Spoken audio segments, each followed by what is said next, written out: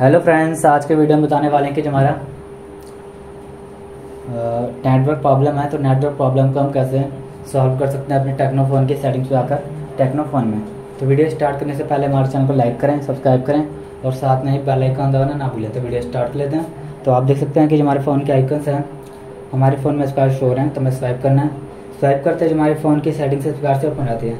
इसमें से आपको क्लिक कर देना है। ये हमारा ऑप्शन आ गया सेटिंग्स से क्लिक करेंगे। क्लिक करते जो हमारी फ़ोन की सेटिंग्स प्रकार से ओपन हो जाएगी। आपको क्लिक कर देना है सिस्टम पे। क्लिक करते जो हमारी फ़ोन की सिस्टम सेटिंग से ओपन हो गई है। तो इसमें जो हमारा ऑप्शन आ रखी है हमारे फ़ोन में हम, हमारे फ़ोन में हम, जो हमारी नेटवर्क प्रॉब्लम है उसको हम सॉल्व करना चाहते हैं। तो जो हमारी नेटवर्क सेटिंग्स है, उसको यहाँ पर रीसेट कर देंगे। रीसेट करते जो हमारी फ़ोन की नेटवर्क प्रॉब्लम है, हमारे फ़ोन में सॉल्व हो जाएगी।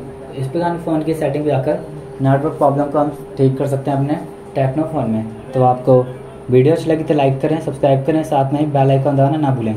और थैंक यू